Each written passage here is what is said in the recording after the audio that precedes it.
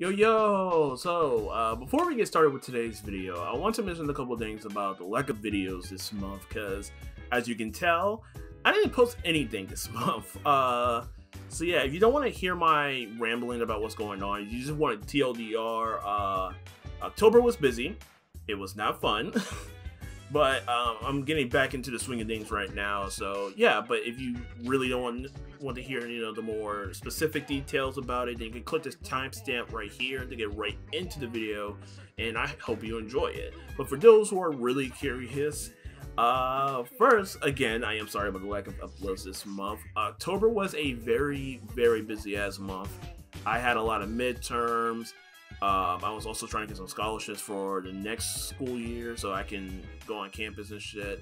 And I've been also trying to do some pers- uh, sorry, some personal stuff, mainly trying to hang out with family more and also take better care of myself because I've been staying up until around four o'clock in the morning doing videos and homework and so on and so forth. So I've been trying to, you know, balance all of that. Now, at the time of the recording, I'm doing a whole lot better, kind of.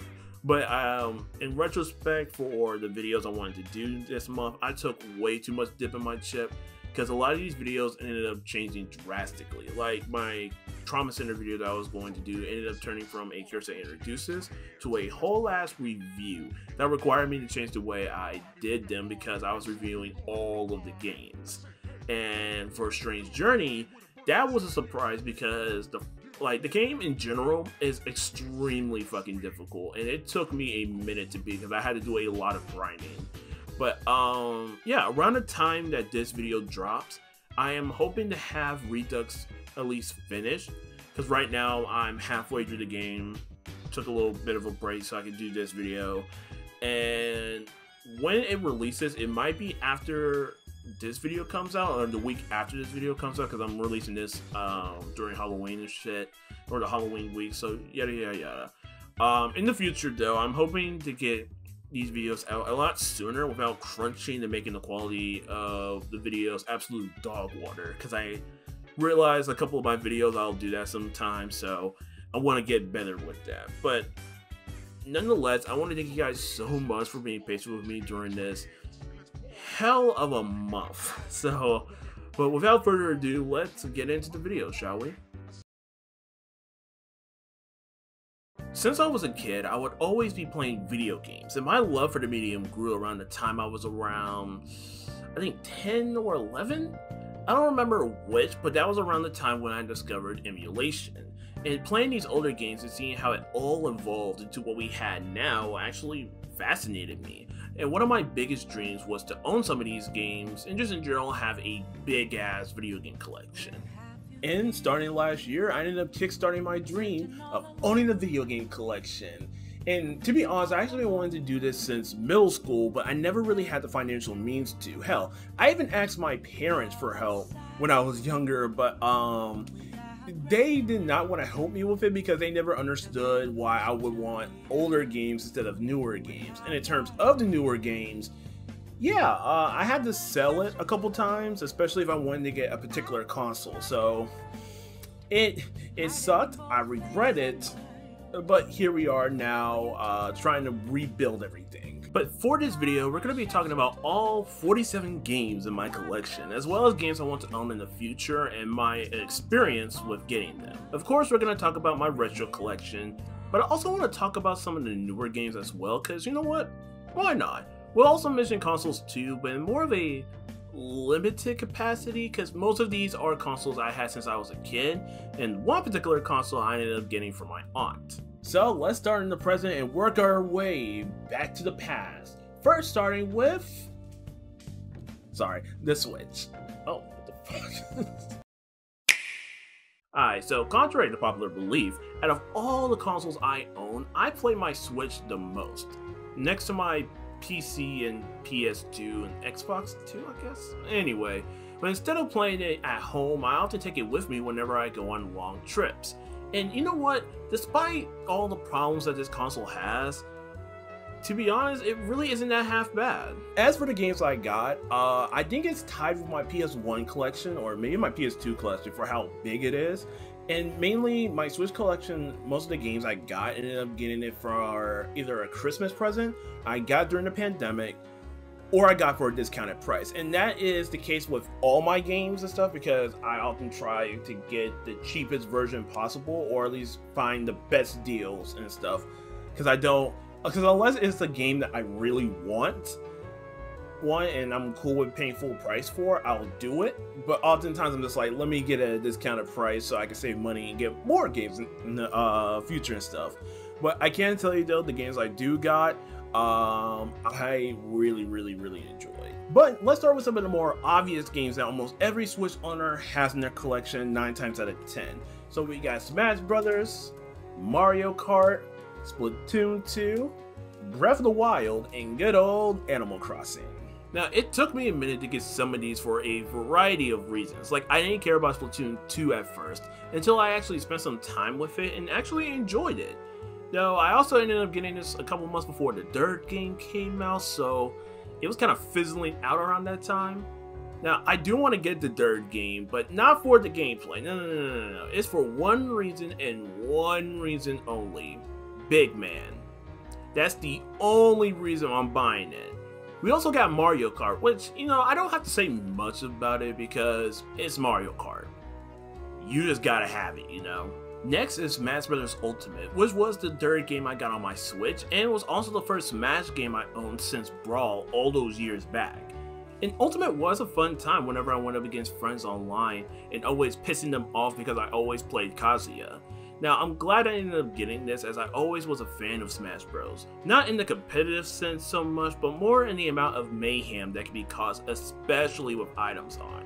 And I would love to play this online with friends again, but I gotta renew my Switch membership. Though I'm still deciding if I want the regular or the expansion version, despite both low-key kind of being booty to an extent. Now, my most recent Switch game I got was Animal Crossing, which initially I never saw the hype for this franchise until I saw all those TikToks back during the pandemic. And, uh, yeah, fast forward to today, I can definitely see the hype behind it now. And finally is Breath of the Wild, which many will say is overrated, which is true, but damn was this a nice change of pace from usual Zelda titles. Now, the rest of the games that I actually have my Switch are... Okay, it's a mixture between new games and also remasters slash collections. And if we're gonna start with one of my new ones and stuff, let's start off with Astral Chain, which Oh boy. But to make it short though, I love this game a lot, and they need to make a sequel to this, like, expeditiously. Then I have one of the more surprising finds being Travis Strikes Again, which I found for like $5. Yes, you heard me correctly, 5 US dollars. The crazy part was that it wasn't even on sale or anything, so best believe I scooped this bad boy up quickly. And I have SMT5, which I'm looking forward to sharing my thoughts about it because it's a pretty cool game. Though I might need some help because, oh boy, I have feelings that I can't quite articulate.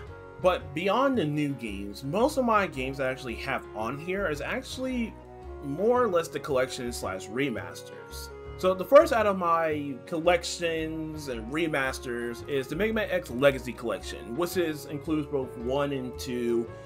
For some reason, only two is available digitally, and the first one is available physically. I don't understand it, but I ended up getting this in order to play during the pandemic, especially to play Mega Man X and also experience some of the other games. In general, I'm a fan of the series as a whole, and I wanted to support the franchise for a possible return. Though also, I'm gonna need Capcom to port the Legends games on modern platforms because I'm not trying to pay over $100 for the original. Jesus Christ! It was fun playing through the games despite the latter three not being as good. I love the first, fourth, and fifth game, and you know what? I wouldn't mind playing X7 and X8 again because they weren't that bad. But then again, I will have to hear the infamous sound clip again from X7 and risk- Burn to the ground! Burn to the ground! So the next remaster I have is the Nocturne HD Remaster, which alongside Shin Megami Tensei 5 are some of the first Mega Ten games that I actually own in my collection. And I know what you're thinking, yes, I need to change that. Finally, it's the first game I ended up getting for the Switch, the Final Fantasy X 10-2 Remaster, which gave me the chance to finally play these games. And I loved it so much that I've been in Final Fantasy X about like three to four times. And I don't do that often when it comes to games, especially JRPGs. It goes to show how much I love this game. Before we go into the next set of collections and stuff, um, yeah, let's talk about the elephant in the room because this was a big stickler last year. Super Mario 3D All Stars, and I already know what you guys are gonna be thinking. Hero, why would you buy this? This is a clear cash grab. This port sucks ass. It doesn't even have Mario Galaxy 2. And you know why I hear all of that shit? But I'm gonna be honest with you. This is kind of a good deal. kind of. Mario 64, Sunshine, Galaxy, all on one console that I can take with me anywhere? You damn right I'm getting this, and I know it isn't that great, but the opportunity to play these classes on the go is cool. Now, what's not fun is the fact that this motherfucker is still in stores. The amount of times I've seen this in multiple stores like Walmart, Target, Best Buy, GameStop even is fucking insane. And hell, some of them were even at discounted prices. So if I would have known that, I would have just waited to get it. So uh yeah, I'm telling you guys, FOMO is a bitch and Nintendo knows how to get our asses. Jesus Christ. Okay, let's just get on to the Xbox collection. Hey, that's pretty good. So, my Xbox collection, especially dealing with the Xbox One, is really small compared to my other collections and stuff. And this is mainly because a lot of the Xbox games that I have are digital, so I can easily play with friends. Plus, it was during the pandemic, and then also discounted prices were on there were pretty good too. So, yeah. Now, one thing especially, uh, I'm still thinking about to this day is that if I never had sold my Xbox 360 collection, Jesus Christ, that shit would be that probably would be the biggest collection that I have next to my Switch collection. I say I think that one would be the number one biggest because I had a lot of games for that fucking console because I played it a lot, including the Wii. So it's like both of them together would have been and shit. But yeah, but uh, let's start off with the first game that it's not the first game that I got, but the one game that I played the least, Mortal Kombat 11. I only got this for $10 and I have yet to play this because I'm not a big fan of it. I've played Mortal Kombat when I was younger, but after playing other fighting games as I got older, I wasn't a fan of how the game felt. And if I wanted to play a fighting game nowadays, I would rather play something like King of Fighters or Tekken. Speaking of which, Tekken 7. Hey, you like what I did there? This bad boy was one of the first games I got on my Xbox One, and Jesus, this game is so much fun. This is another series where I'm ordering a game from it for the first time, and Tekken 7 is a pretty comfortable game that's accessible to new and old players alike. The few times I played online were really fun, annoying sometimes though because of characters like Xiao Yu and Bryan Fury, but still fun nonetheless. So next is Call of Duty Modern Warfare, and you see, despite my issues right now with Activision Blizzard and all of that bullshit that they're going through right now, this game I fucking oh my god I fucking love. Modern Warfare was my first true jump back to the COD series back around 2019 and the last game that I played from the series was Black Ops 3 all the way back in 2015. That was the last COD game that I ever played. Initially the game had me worried since not only have the games been kind of meh up until that point, but they were also rebooting the original Modern Warfare trilogy, and my first thought went directly to that this game finna be shit. But the more I saw of the game, the more I fell in love with it, especially after playing the open beta. Best believe afterwards I asked this for Christmas, and since then I've still been playing this despite the new costs that are out, which, uh, I'll save my opinions on those for later, wink wink. Of course, we also gotta talk about the banger that is the Resident Evil 2 remake, which is one of the best remakes I've ever played. Everything about it, from the way the gameplay actually plays with the tense nature of the environment, the feeling from the original remaining and being boosted with the new graphics, and Mr. X, a big bitch chasing you around everywhere and making you want to shit your pants whenever you heard his big ass footsteps. Is all oh, great. Besides Mr. X, that motherfucker is scary. Now, what about Far Cry 6? This game is pretty cool. Far Cry 6 isn't the all-time best like Far Cry 3, but I still enjoy it as much as that game. The open world that Ubisoft is known for can be annoying, and trust me, it can be very annoying. But how Far Cry 6 handles it, it's alright, and it's fun conquering bases and seeing how to do it without going in guns blazing. Plus, one of the main reasons why I got this game was simply for Giancarlo Esposito. That man was to do the right thing, so trust me, I fuck with him uh, 100,000 parts of the way. Anyway, let's continue on. The final game in my Xbox collection is Cyberpunk 2077, which, contrary to popular belief, and for my last video, which you know you can go check in the card up here and stuff, I fucking love this game. But getting the game was interesting because not only did I get, you know, the regular copy, which actually came with a couple maps and stickers, this intro message, the disc, and also it has a reversible cover too, which was pretty cool and stuff. Another thing that I ended up getting was a steelbook. Yeah, this is my first ever steelbook that I've owned for a game, and it was pretty interesting overall. Uh, I was scared when I first got it. I was like, "Oh my god, did this is the steelbook? Did they fuck me over?" But nah, it was just yeah, it came with it. It was dope. Um, and yeah, I'm actually fun fact hoping to eventually own this game on PC so I can play with mods. But yeah, I I really love this game. You should also watch Edgerunners. Great, great anime. Now, for the moment you all been waiting for and probably actually came to the video for. The PlayStation 1 and 2. The console that doesn't need a single introduction and is the console that I practically grew up with. The games on here will all be games I've either played through updated ports on newer hardware or through emulation. And collecting these games has been a fucking journey because either they were, you know, relatively easy to find or they were just random as hell, or of course there were some special ones in there and stuff. Um, there was it, it, it was fun, but also very annoying as well. But um, yeah, let's just get right into it and let's actually start off with one of the more weird finds. Crazy Taxi on the PS2. This isn't my first time with the game as I played it back on the Dreamcast collection on the 360, but I found out earlier this year that this game had a PS2 port. And yeah, I picked this shit up expeditiously alongside Metal Gear Solid. Now, speaking of which, I actually have all three of the Metal Gear Solid games, you know, starting from the PS1 and then going to, you know, the PS2 and stuff. And the weirdest thing was, was that a lot of these copies, mainly the Metal Gear Solid 1, was expensive for a complete in-box copy.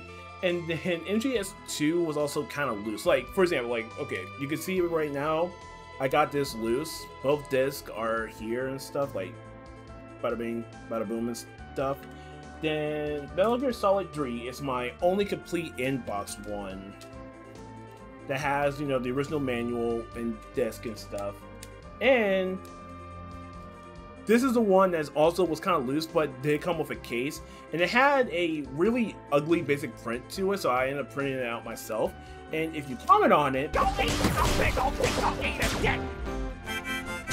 now I ended up picking up those games.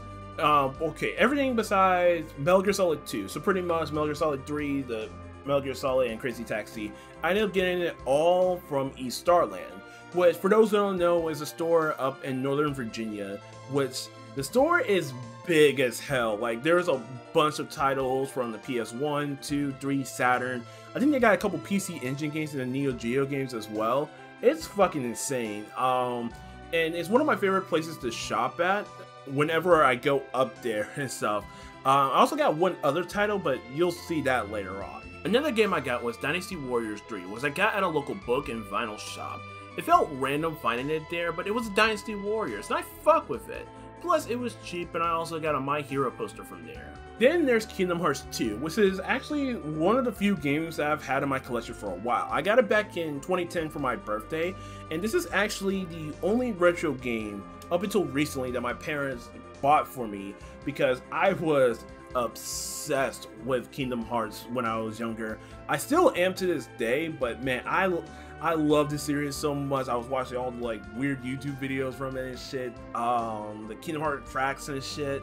And yeah, I wanted to get this for myself, especially since you know I have a PS2 I can play this, right? And yeah, I've been in this so many times too, and it originally was complete inbox, but I since lost the manual, which I don't know where it is, so eh.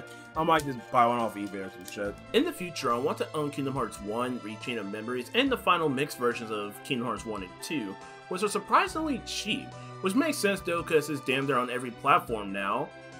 These new kids have it lucky. So, one of the other JRPGs I got alongside a special little one is Shin Megami Tensei Nocturne, and I think this is actually a reprinted version because even though it's complete inbox, it doesn't have the extra CD and stuff, and the manual itself is black and white.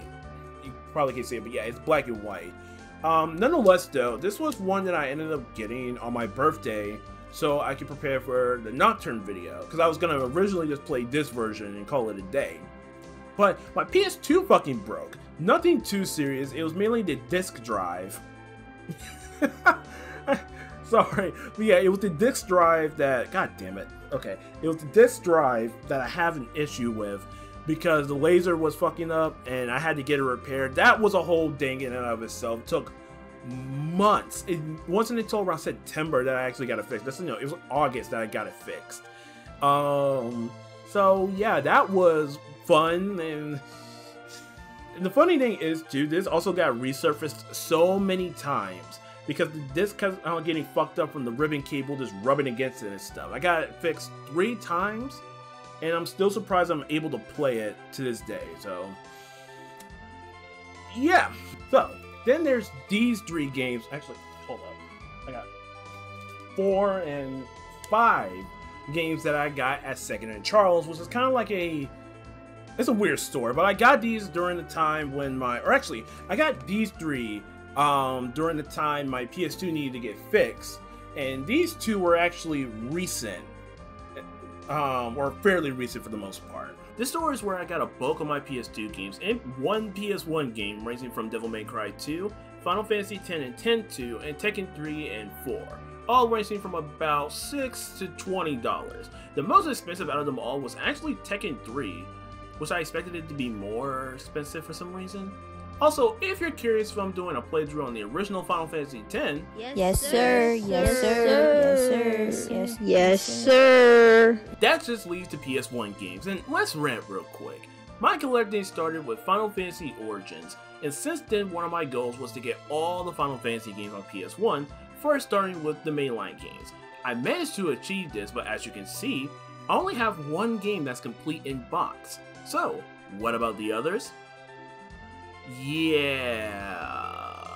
So I ended up getting Final Fantasy 9 and 7 mainly in a relatively budgeted price. Like this one, this one was 17.49 and this one was 29.99.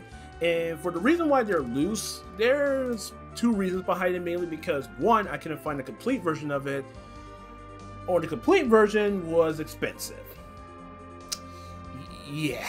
And I'm glad I got 7 for a decent price because for some bizarre reason at my local game store, a complete version of 7 was either around I think 60 to 80 dollars was my first thought was why the fuck is this game so damn expensive? And because of that fucking fiasco um i ended up getting final fantasy 7 more as a loose copy rather than of course complete.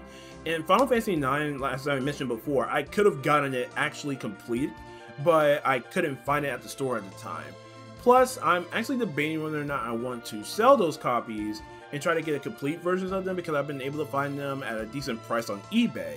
Which you may be thinking to yourself, why the fuck have you done for the first part? And let me explain that shit. Up until recently, I've never bought a retro game online for various reasons. I've heard horror stories about people getting scammed and or getting their games destroyed during shipping. And when I heard those stories, I was scared shitless. And of course, yes, these don't happen often, but I'm an anxious person when it comes to these things. Other than my Final Fantasy games, I also ended up getting another weird game, the Atari Anniversary Edition Redux.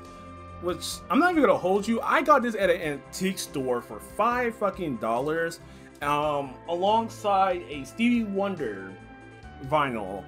Which, fun fact, um, I got this because I only got this for one song, but this is still a pretty good fucking album. So, the other PS1 games that I got are actually loose, but are all games that I ended up having since I was a little kid, and also some of it also my dad games too. So let's go over that. We got ready to rumble boxing, was I kind of remember playing with my dad, but only a little bit. All I remember about it is that the controls are weird as hell, and that's about it. Let's see what else we got. Uh, NFL Game Day 2005, which is a basic football game. A Bug's Life, which I remember playing a lot as a kid, and I still play to this day, and it's also very, very weird. But the grand jewel of them all is Dragon Ball GT Final Bout. Is what I would say if I was still five, but yeah, this game aged like shit, but I still love it. Uh, I also thought about selling this at one point, but I decided not to because this shit is my baby and I will fucking keep this to the day I die and stuff. But I also got a another weird PS1 game. Actually, but this one wasn't so weird because of how cool it was. And that was a demo disc, actually. Um, I actually got this at a high school book fair. And yes, before you say anything, it genuinely was a very weird find, and I'll talk about it in a minute. But um, yeah, it was pretty cool. But the disc was pretty cool, and I got to experience some cool games like Brave Fencer Musashi. But it's gonna be a minute before I own it, cause fuck. All right, uh, let's see what's next. Uh, oh right, my 64. Oh wait a minute. Okay, so slight correction. Uh, my N64 collection is shorter than my Xbox collection. Weird, I know, um, but Nintendo tax and shit. Um, but the games that I do have are still bangers for the most part, and I ended up getting my N64 from my aunt uh, before I ended up moving to Florida. But during the time, she basically it only came with one game. It came with the cores and stuff, but no controller at all. Yeah. But after moving and going to my new school, I ended up getting some games and a controller from my classmate after I told them that I got an N64, which was pretty cool. The first game I ended up getting was Star Fox 64, which I played the moment I got home and enjoyed every aspect of it. It also showed me that the N64 controller is really weird to handle. So like, do you hold it like a normal controller or do you hold the dick? And yes, I call it the dick. Which one is it? There was also Pokemon Snap, which was small but adorable as hell to play through. And finally was Star Wars Racers, which I barely played and traded in for a sense of liberty. Then there's this wrestling game. The only game that was in the N64 I got, and um, I'm not gonna hold you, I barely played this at all. Now, before we get into the most valuable games in my collection, uh, we need to talk about something real quick. So, as you can see back there, uh, I have a Wii. The problem is, I have no Wii games. So, how the hell do I play my Wii despite not being able to play any of the games and stuff? Well, it comes with this bad boy, and also this bad boy. This one's for my Wii, and this one's for my PS2 because I modded them bitches. I won't go into the process of how I modded everything, but man, the experience was the worst on the Wii.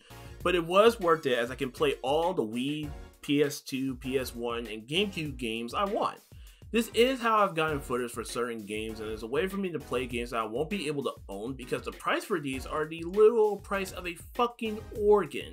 And yes, I'm looking at you Revelations Persona and Eternal Punishment, but to be honest, it has been the goat when trying to play some of the classics I had as a kid like Sonic Riders. Though in every collection, there is bound to be some valuable games. Maybe not one, maybe not two, maybe even three, but nonetheless, there has to be some valuable games. Now, before we start though, uh, I need to find a transition real quick, so give me a second. So what about this?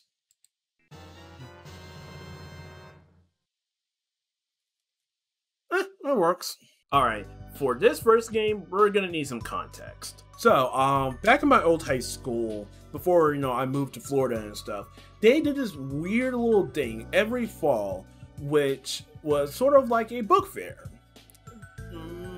but instead of it actually being a book fair where you know there's just nothing but like you know the scholastic books and all that other shit they it was more like a bazaar for some reason. Like i don't know why it was the case but it was just like that and stuff. Um they were of course were selling books. They were also selling like movies music cds i'm pretty sure they're selling clothes at the motherfucker at one point.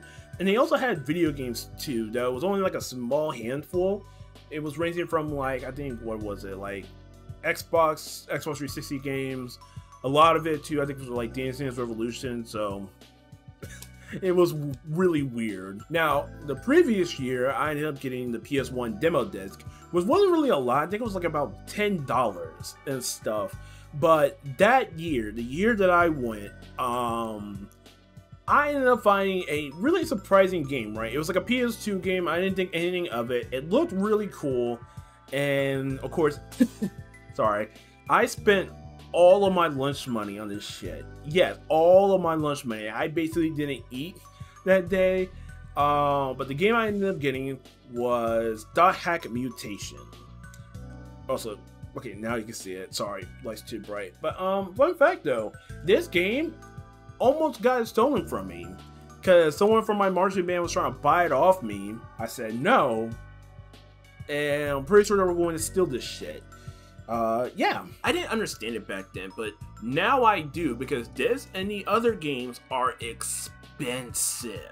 Like the first game isn't that bad. It's around $20 complete in box, and for Dot Hack Mutation, it's upwards to 60 maybe more if you want the extra disc inside. Then there's the last two games, which Jesus Christ, if you can find them individually, they can go between either 70 and upwards to $400. Yeah, it's expensive, so I'm glad I got at least a second game. But wait, it gets even crazier on the N64. It's over here, god damn it. So, one of the major highlights of last year that wasn't getting a PC or fucking catching COVID, which was a whole thing entirely. Um, but around November, December time frame, I ended up going to an antique store where I ended up finding two games. Now, the first game was GoldenEye 007, which in and of itself isn't a crazy game and stuff. Yeah, it's not that expensive. But what I found next was the craziest shit ever, especially after learning just how expensive this damn game is. Paper Mario.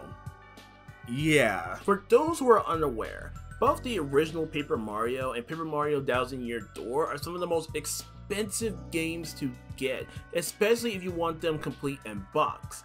As of right now, these two are over $70 just for the loose version, and between $100 to upwards to $300 for a complete copy. Now, I just wanted to paint that picture for you guys, right? Because when I ended up getting this game, and, and even also getting GoldenEye 007, this right here was only $32 you heard me right, 32 US dollars. So yeah, at the time um, of this video, one of my most surprising finds, and actually some of the more expensive games in my collection, is Dot Hack Mutation and Paper Mario. And especially at the price that I found these games, they were fucking insane. And I didn't go into it earlier, but for Dot Hack Mutation, or I don't think I did, I don't remember. Anyway, I got this game for $15. Yeah, now it's like 60. This was 15 when I first bought it. But there's actually one more game we actually have to talk about. This final game is what made me excited to actually do this collection video and it came at the perfect time. Introducing Police Policenauts, Hideo Kojima game. Despite this game not really costing much because in total it was around $39.95, I still fucking got this shit. And plus, this game actually came from the same store that I got Crazy Taxi, Metal Gear Solid 3, and the first Metal Gear Solid, East Starland. Because not only do they sell, you know, regular retro games and also new games too, but they also sold imported games as well. So, of course, everything from the PS1, PS2, and especially the Sega Saturn, you can get it from there at a pretty decent price. And if you're wondering how I was able to play Policenauts on my American PS2, mind you, modding. Yeah, uh, there was actually a mod that allows you to change the region of the PS2. As scary as it was, it was also pretty fucking easy. So, uh, yeah, that's pretty much my whole entire game collection as of right now. Because this is definitely going to change in the next few months. the experience of collecting games has been so much fun but also a little annoying with the way the market has skyrocketed the price for these games. Like, I want to own Silent Hill and the early Persona games, but I don't want to pay the price of a black market organ for it.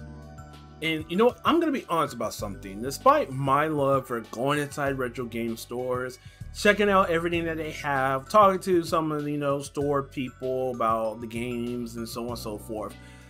Some of y'all be charging high as fuck prices for these games.